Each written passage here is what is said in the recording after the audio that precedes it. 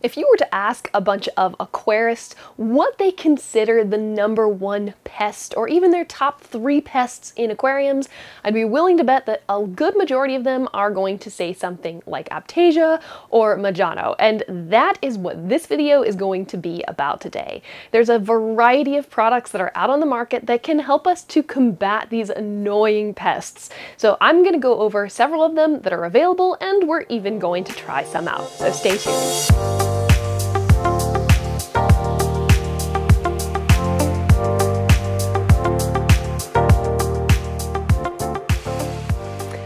There!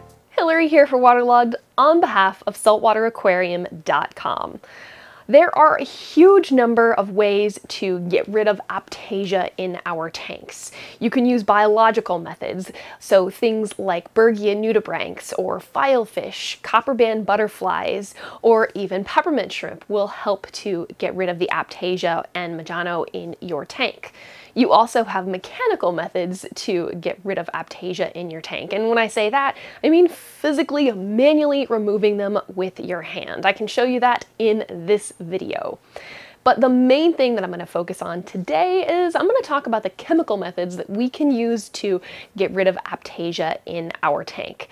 I've got different tools that are available on saltwateraquarium.com and I'm going to go through and tell you how to use each of them and give you a little demonstration on them. I've been saving some aiptasia in my tank just for this video and I cannot wait to get started and get my tank cleaned back up.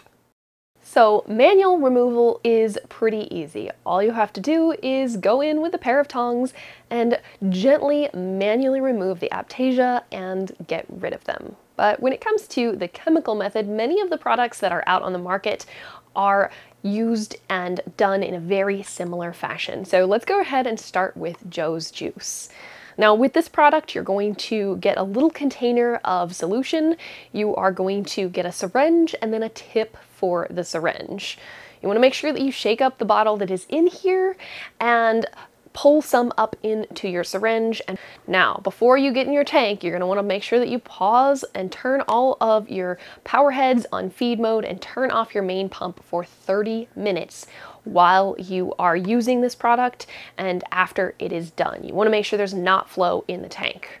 And once that flow is turned off, go ahead and use the syringe to gently inject the solution to the mouths of the Aiptasia, the Majano, get it as close as possible to the mouth of these anemones so that they will take it in. When you're doing this, you want to make sure that you're moving really slow and gently so that they don't pull in before you're able to get the treatment to them. Now moving on to the second product, this is from Tropic Marin. It works in a very similar way to Joe's Juice. You're going to get a container of solution. You're also going to have a syringe with that tip on the end. And once your power heads and your main pump is off, you want to make sure you have them off while you're doing this treatment. You're going to go ahead and pull up a syringe full of the solution and get it as close to the mouth of those aiptasia as possible. Now again, leave the flow off for approximately 30 minutes so it doesn't get mixed around in your tank. After 30 minutes, they should be eliminated. All right, moving on to our third Aiptasia RX. This product is from Blue Life USA. I really love some of their other products and have had great success, so I can only hope for the same. Now this is another one that comes with a little vial of solution. You're gonna wanna shake it up. Now go ahead and get a syringe full of the Aiptasia RX using the syringe. Now included in the box are a 14 gauge and a 22 gauge 2 inch tip that you can use for this depending on what you need. So go ahead and gently place the syringe over the aiptasia, trying not to disturb it. That's key. Apply the desired amount on top of the aiptasia, and if the results aren't visible within 30 minutes, you can go ahead and redose after 24 hours. Okay, the next product is one from Aquarium Systems France. It is a relatively new product on the market, Zaptasia. Now this one works a little bit differently than some of those other ones. There's no tip that you have to add on the end of the syringe. It's already a nice pointed curved syringe, but what you're going to do is tear open one of these individual packets and add it to the syringe. If for some reason it is thick, you can go ahead and add a couple of drops of RODI water to dilute. Now, carefully position the applicator tip over the center of the aiptasia And you want to feed the aiptasia just a small amount of the Zaptasia until the product from the syringe spreads from the center to the base of its tentacles. You can repeat this process for all of the Aiptasia and the Majanos in your tank, and then you can turn those power heads and that flow in your tank back on. So before you start using this one, you definitely want to make sure that the flow is completely off, just as with all of the other products. All right, moving on to F Aiptasia. I love the name on this one. It makes me smile every single time I hear it. This one is made by Frank's Tanks out of Texas. Now, this is another one that's a little bit different than those first three. So you are going to have a little uh, container full of the solution. You're going to shake that up and get it mixed well. Now, just like those other ones, you're gonna have a syringe with those tips on it. So go ahead and pull up a syringe full of the solution. Once the flow is off in your tank, again, power heads on feed mode, that uh, main return pump should be off, protein skimmer should be off while you're doing this.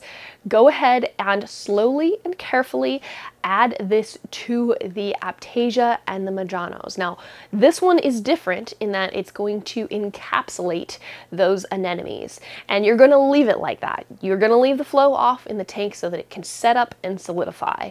And after a day or so, you're want to come back in and siphon out all of those caps and the dead anemones that are encapsulated inside of them. So that's how this one works.